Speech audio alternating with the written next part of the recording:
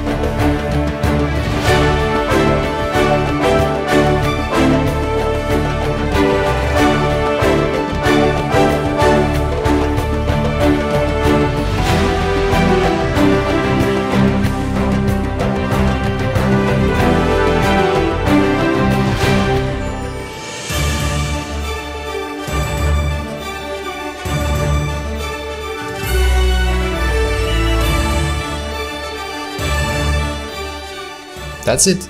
Leave a like if you enjoyed and write below suggestions for another videos. Subscribe to my channel and tick the notification bell to see more my videos. You can support me on Patreon and get extra rewards. And if you're curious about all the tools and materials I use, all links to products are in the video description below.